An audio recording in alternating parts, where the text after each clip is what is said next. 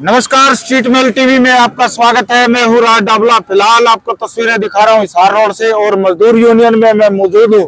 पिछले दो दिनों से जो है, मजदूर यूनियन के जो मजदूर भाई हैं, वो लगातार हमें फ़ोन कर रहे हैं कि हमारी दबी कुचली आवाज़ को बुलंद करें, हमारे पास ज़रूर पहुँचे।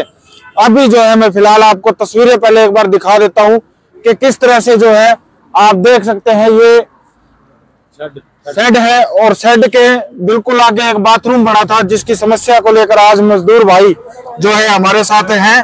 और समस्या फ़िलहाल इनकी ये है कि इनका कहना है कि भी आप देखिए कैसे हालात है हमारी मजदूर यूनियन के फ़िलहाल। और यहाँ पे जो बाथरूम बनाया गया था, काफ़ी समय पहले जो जर्जर हालत में बन और टूटा है, जिसको बाद अभी कुछ ही दिनों पहले नगर परिषद फतेहाबाद ने तोड़ा है। ये आप साइड देख देख सकते हैं किस तरह से जो है पेड़ के ऊपर अटका हुआ है और एक बड़ी दुर्घटना हो सकती है। कभी भी आप देखिए, ये यहाँ पर खुले आम जो है बाथरूम किया जाता है।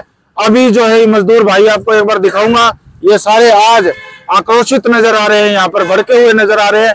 फ़िलहाल बातचीत भी करेंगे। भाई क्या क्या मांगे हैं आपकी? क्या क्या समस्याएँ हैं? हमारी मांगे ये है जी, हमारी मांगे पूरी की जाए। सर्दी में आकर हम यहाँ बैठते हैं। हमारा सेट टूटा हुआ है। हम लोगों के बारिश आने पर लोगों के दरवाजे के आगे, दुकानों के आगे जाके खड़े होते हैं। कोई सुविधा नहीं है यहाँ पर। माते, काफ़ी दिन से ठंड भी पड़ रही है। हमारे को कोई सुविधा नहीं मिल रही। हमारा शेड पानी की जो सुविधा है, दो साल पहले यहाँ फ़ोटो खींची गई थी कि वाटर कूलर लगेगा, लेकिन यहाँ वाटर कूलर नहीं लगाया गया। एक छोटी सी टंकी ब्लैक कलर की रख दी गई है। उसमें कम से कम तीन बट्ठल कचरा भरा पड़ा है और उसमें पानी नहीं है, ना ही टूटी वगैरह का कोई कनेक्शन है। यहाँ नगर पालिका कचरा डाल देती है। अब कचरा उठा के लेके गए हैं। आधा घंटा पहले, बारह बजे से पहले यहाँ कोई कचरा नहीं उठाता। गाड़ियाँ खाली होती हैं रेडियाँ खाली होती हैं। और वो सारा कचरा उड़कर हमारे ऊपर आता है और बदबू के अंदर हम आकर यहाँ खड़े होते हैं। कम से कम हम यहाँ पर मजदूरी करने वाले 700 से 800 लेबर वाले मजदूर करने, मजदूरी करने वाले यहाँ पर है। वोट किसको देंगे? क्योंकि जनता जो है वोट दे के चुनती है। यही मजदूर भाई जो है वोट दे के नेता को चुनते हैं। आज जो अगर ये बात करें तो नगर परिषद ने इनका जो है बाथरूम तोड़ दिया। अब जो है साफ़ सफ़ाई होगी है बढ़िया तरीके से। और अब जो है यहाँ पे कोई भी इनको बाथरूम नहीं बना के दे रहा। फ़िलहाल ये समस्या इन्होंने जो है बताई है। और पीने के पानी की अगर समस्या बात करें तो वाटर कूलर इनका पास हुआ था मगर वो टंकी टंकी जो है यहाँ पे रख दी गई है जो साफ़ पड़ी दिखाई दे रही है। हाँ वो टंकी भी फूटी हुई है वहाँ पे। टंकी भी फूटी हुई है। हाँ।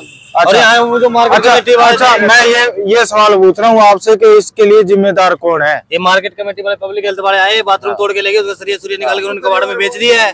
कोई कुछ नहीं हमारे को बेनिफिट होता है भाई। काम है नहीं हमारे यहाँ। बैठे बैठे जैसे बैठे सुबह आते हैं शाम को चले जाते हैं ऐसे मैं ये कह रहा हूँ आपसे ये पूछ रहा हूँ कि आप वोट देते हो सरकार आप चुनते हो? अभी जो प्रशासन जो हमारे लायक है हमारी सुनाई करेगा और हमारा काम कार्य पूरा करेगा तो हम वोट देंगे। नहीं तो हम उसी को ही वोट देंगे जो हमारा कार्य पूरा करेगा। नहीं तो हम किसी को वोट नहीं देंगे। और वोट उसी को वही लेने का हकदार है जो हमारी सुनेगा हम गरीब आदमी है वरना हमारी मांगे पूरी नहीं की गई। तो ये सामने वाला जो रोड दिखाई दे रहा है हम इस रोड पर बैठेंगे 700 से 800 मजदूर है हम यहाँ से कोई भी साधन नहीं गुजरने देंगे। और जल्द से जल्द हमारी मांगे पूरी की जाए। यहाँ पर इतनी बदबू है कि कुत्ता भी नहीं बैठ सकता। जहाँ कर हम रोज़ाना यहाँ पर फुटपाथ पर बैठते हैं। हम भिखारी से भी गए गुजरे हैं फुटपाथ पर आकर अपना कार्य मांगते हैं और यहाँ खड़े होते हैं, यहाँ पर हॉस्पिटल की गाड़ियाँ खड़ी हो जाती हैं। हमारे को खड़े रहने के लिए यहाँ पर कोई जगह नहीं है, कोई सुविधा नहीं है। अगर खड़े होते हैं, उधर जाते हैं, इधर जाते हैं, हमारे को गाड़ियाँ मिलती हैं। पानी की सुविधा नहीं है, पानी पीने के लिए हॉस्पिटल में जाते हैं, वहाँ से हमारे को गाड़ी गलौज करके बाहर निकाल दिया जाता है। और हमारे को ये सुविधा दी जाए, प्रशासन इस चीज़ का जिम्मेदार है, जो हादसा हमारे साथ हो रहा है, वो प्रशासन ही उसका जिम्मेदार है। हम उसी को वोट देंगे जो हमारी मांगे पूरी करेगा। नगर परिषद के प्रधान है चेयरमैन है और फतेहाबाद के विधायक है उनके नाम कोई मैसेज देना चाहोगे? उनके नाम मैसेज ये आने जाने का रास्ता ये मेन है यहाँ से गुजरते भी आते जाते भी है नगर परिषद भी यहाँ सब कुछ देखता है।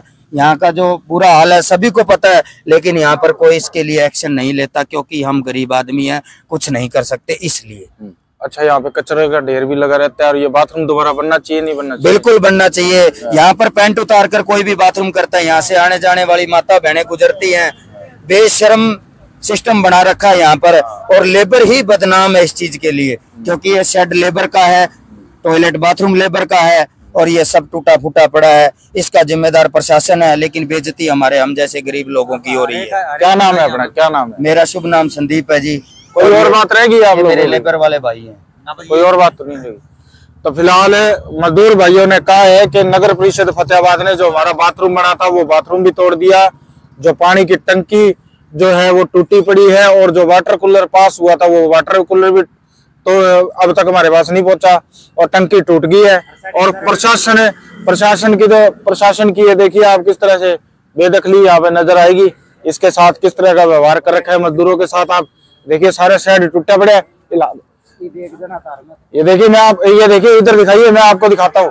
इधर दिखाइए मैं आपको बाहर से दिखाऊँगा। ये देखिए आप किस तरह से जो है पूरा शेड हिलता नज़र आएगा। और मजदूर भाइयों का ये कहना है कि जो है नगर परिषद के प्रधान है और उप प्रधान है वो इसकी तरफ़ ज़रूर ध्यान दें। तो वीडियो को शेयर ज़रूर करें। धन्यवाद। Thank you